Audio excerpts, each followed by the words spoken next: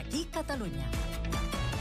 Amb Pablo Tallón. Si tiembla tu risa, ¿será que ríes fuerte?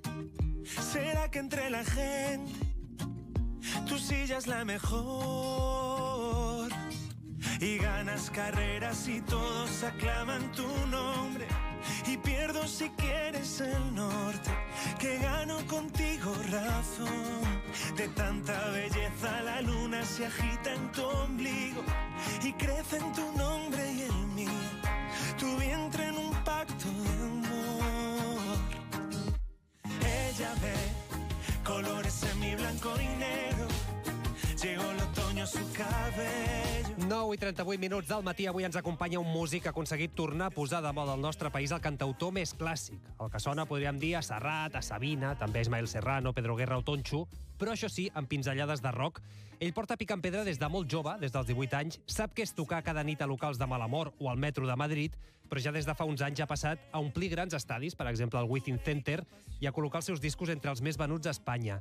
Ara cada mes, perquè us feu una idea, l'escolten gairebé un milió de persones només a Spotify i acaba de publicar el seu novè treball que es diu Viaje de vida y vuelta. ¿Será que lejos de aquí hay algo mejor? El desarme de unas manos lentas hoy es... Andrés Suárez, bon día. Buenos días, ¿cómo estáis? Es curioso porque tu gran boom llega en una época en la que a nivel comercial, digamos, los cantautores al uso, es decir, cantautor entendido como el sentido más clásico, Sí, sí, sí, no estaban entiendo. tan de moda. Eh, ¿Tú has llegado a pensar por qué tú y no otros de tus compañeros con los que tocabas en Libertad 8 y en tantos otros sitios? La verdad es que no tengo ni idea y si tuviera la clave del éxito, yo creo que todos los que nos dedicamos a la música le estaríamos dando al botón de éxito, éxito. No tienes ni De idea repetir. De repetir, ¿no? No tengo ni idea de por qué se parece que se va a llenar el paro de la música el 17 de junio o se va a llenar el Wizzing el 11 de mayo. Lo que sí sé es que nunca ha habido tantos cantautores en festivales de verano. Nunca ha habido tantos cantautores en fiestas de verano donde la peña salta de alegría. Lo que sí sé es que por fin, desde hace unos cuatro, no sabría decirte la cifra, se va mm, quitando el estigma, la etiqueta del cansautor. Del El tipo, cansautor. Del cansautor, tipo triste, melancólico, que maldice el mundo, hola, el mundo, el futuro, la vida en un barco, mucho humo oscuro. De repente mm, escribo reggae, escribo. Bueno, tengo una banda de rock, puro rock. Claro, claro. O sea, creo que es un cantautor. Robin Iniesta, Iván Ferreiro, Ed Sheeran, Glenn Hansard Peña que hace pegar saltos a 14.000 personas en un pabellón, ¿no? Claro, o sea, el cantautor ha mutado, eh, seguramente se ha abierto otra vez las puertas de, de una música más masiva, pero en 2017 no era así. Y en 2017 tú lanzas tu quinto disco desde una ventana, la misma semana que Shakira publica El Dorado, que es el disco donde estaba La Bicicleta, donde estaba Me Enamoré, donde estaba El Chantaje con Maluma, es decir, hits que sonaron en todo el mundo. Lanzáis el disco a la vez, también lo hicieron los Beatles, 50 aniversario de uno de sus discos más míticos. ¿Y quién lidera las ventas esa semana? Pues eh, no me acordaba de este dato. Me estáis dejando flipando, Pues la verdad. Andrés no Suárez. me acordaba, sí. Andrés sí. Suárez. Creo que sí, que fuimos. Por eso. Cuando te dan la ¿eh? noticia, ¿cómo te quedas Oye, ahí? si lo sé, vengo antes. Qué maravilla de recuerdo me acabas de dar. Eh, te lo, os agradezco un montón este alegrón que me estáis dando. Por eso, mira, por eso, ya bromas aparte, esto, esto de las 6 de la tarde de hoy en la FNAC El Triángulo.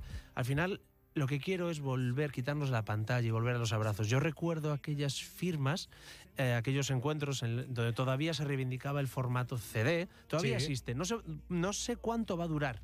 Para Inexorablemente. nostálgicos, seguramente. Claro, yo sí los escucho de arriba abajo y Viaje de Vida y Vuelta, mi noveno disco, tiene sentido del tema 1 al 10 y terminan en el mismo tono para que la orquesta de cuerda de Nashville te vuelva a empezar con el tema 1 y semánticamente tiene un Sí, sentido. ¿eh? con los segundos de diferencia entre canción y canción adecuados por el Todos- tempo, todo eso pensado y milimetrado. Todo eso pensado porque reivindico el vinilo, porque huele, porque se escribe, porque yo tomo notas, porque yo he quedado, soy del 83 mal llevado, que salía mucho de noche, pero anotaba en los libretos movidas y mi canción y tal. Un libro huele, se toca. Entiendo que llevamos un libro con 1200 libros, pero tampoco sé muy bien si vas a tener tiempo en vida para leerlos, para consumir todo lo que sale cada viernes. Entonces, abracémonos al, al vinilo todavía que nos queda un tiempo, no mucho. Ya te has abrazado a gente, en Callao sin ir más Sí. lejos. Eh, ¿Cómo está yendo este primer contacto con tu público después? Pues eso, claro, es que tú sacas el disco en plena pandemia, el anterior. Ahora que has vuelto a reencontrarte con todo, ¿cómo está siendo eso? Hoy que vengo con mi equipo, mi familia de Warner Music, eh, Warner me dejó elegir la fecha de mi octavo disco y les dije, y les dije marzo del 2020. Que nos va a ir bien. Marzo del 2020 va a ser la fecha, tíos. No me dejan elegir nada más.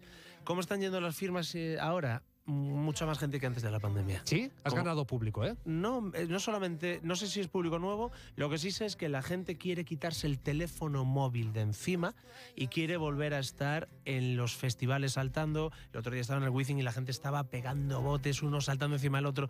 Es que no podemos más. O sea, yo no sé tú, pero yo de tristezas desde marzo del 2020 voy cargado, ¿sabes? Entonces creo que nos apetecía mucho el abrazo. Yo llego a la FNAC y canto, me dicen son tres temas, les canto siete. Eh, me apetece volver a la vida en todos los sentidos. De hecho, en el disco se nota, es tu disco más vitalista, este viaje de vida Sí. y vuelta. Eh, llegas a contar que tú tenías un disco ya prácticamente escrito, que precisamente cuando te das cuenta de no quiero más penas, yo quiero un disco un poco con brilli brilli, te cargas las canciones, que no sé si es literal, es decir, están aguardando su momento. O hiciste un borrón y cuenta nueva literal y dijiste ese trabajo ya no me sirve ni me servirá. Mira, yo saco un CD con esas canciones que escribí en 2020 y lo metes en el bolsillo y se te duerme la pierna. Eso era un bajón. Eso era un bajón. Eso era una movida. ¿Tanto? 2020, con- eh, 45 conciertos a la basura, concierto internacional, eh, eh, perdón, gira internacional, el octavo disco se tira también. Todo lo trabajado dos años, marzo de 2020 no estábamos para canciones, todo a la basura. Entonces yo empiezo a escribir como hijo de sanitaria sobre lo que había en la tele, lo que leía en la prensa, sobre los que ya no están. Se me fue la persona que más me ayudó y cuidó cuando dejé de cantar en el metro, que se llamaba Luis Eduardo Aute. Entonces yo comencé a escribir canciones que hablaban de muerte, de despedida, de soledad, de tristeza. Eh, en diciembre de 2020 volví a un día a casa después de un hospital y respirar regular. Cogí aquellas canciones, treinta y pico, 40 canciones. Palabra de honor, te lo prometo que me acabo de tomar el café. Es cierto. Eh, edición, seleccionar todo, borrar. Y no me apetece nada acordarme de una sola de esas canciones. No, ¿eh? O sea, fuiste a la papelera de reciclaje y acabaste de hacer el patapam. Es que para qué, no sé si después de lo que llevamos todos los aquí presentes encima, llego aquí y te cuento de la tragedia, de la despedida. Claro. Es que da- dame, o sea, gracias por vuestra labor.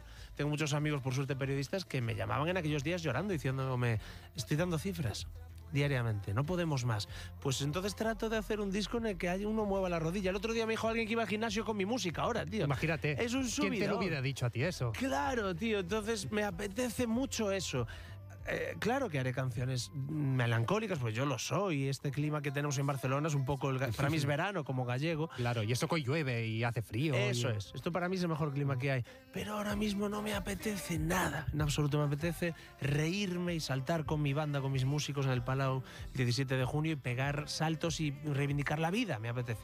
Citabas a tus padres, Teresa y Andrés. eh, Sí. en este reformular canciones también reformulaste una canción dedicada a ellos, eh, pero no se la dejaste escuchar.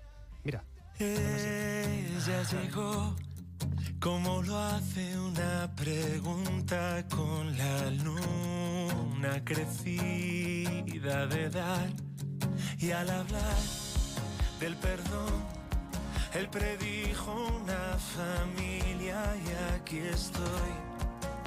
Supongo que ahora sí que la han escuchado. No sé, eh, ese momento en el que por primera vez, porque tú previamente no se la dejaste oír por lo que has contado, Claro. cuando le dan al play por primera vez y escuchan su canción, ¿qué pasa ahí?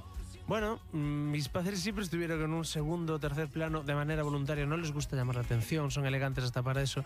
¿Cómo serían aquellas canciones que te decía el 2020? Que yo es aquella primera versión de Teresa y Andrés, que son dos currelas, dos currantes que echaron para adelante a tres hijos, a mis hermanos y a mí, sin quejarse nunca, con una sonrisa. Pues aquella primera canción, versión que le hago de aquel disco triste tal, me llamó mi padre y me dijo, ¿alguna alegre no tienes por ahí Eh, para, para los demás? Entonces en esta nueva versión con John Parsons en la guitarra, con mi banda de rock, lo único que hago es eh, rendir homenaje a, la gente más, eh, pues eso, que más admiro, más valiente, eh, que, que pasó un montón de problemas en vida, eh, enfermera y marinero, tirando para adelante sin quejarse. Nunca los oí quejarse. Entonces trataba únicamente de rendirles homenaje luminoso y optimista. Y habrán alucinado, claro.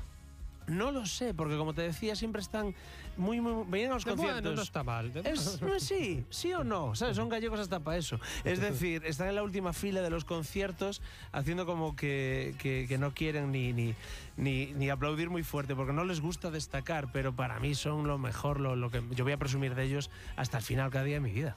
Oye, eh, dices que tú ya dejas de hacer conciertos como tal y que por lo menos en el Within vamos a ver tu primer show. Y en el Palau, O sea, aquí en junio también, también. ¿eh? O sea, Sí, no, sí, no te veo en plan Beyoncé, pero eh, ¿qué vamos a descubrir de, de- de Andrés Suárez ahora en este show, en esta nueva faceta? Escucha, ahora, ahora me acabas de picar y voy a ir a clases de baile y vas a flipar. O sea, ¿Single Ladies en el Palau? Sí, sí, sí, me voy a atrever a bailar. Verás. eh, Hombre, eh, esto... eh, bueno, se te luego- van a agotar las pocas que quedan en minutos. No, ¿sabes lo que, que pasa? Que después de dos años y medio de curro, aquellas 30 canciones borradas de 2020 y enero del 21 comienza lo que sería Viaje de Vida y Vuelta, noveno disco, más de 40 músicos, más de 12 productores entrando en casa cuando finalmente se quedan Tato La Torre, Pablo Cebrián y Ricky Falner, para mí los tres mejores productores que hay en España. Que eso poner de acuerdo a tres productores y que suene homogéneo debe ser también un mundo, ¿eh? Es que son humildes, grandes y genios los tres, ¿no?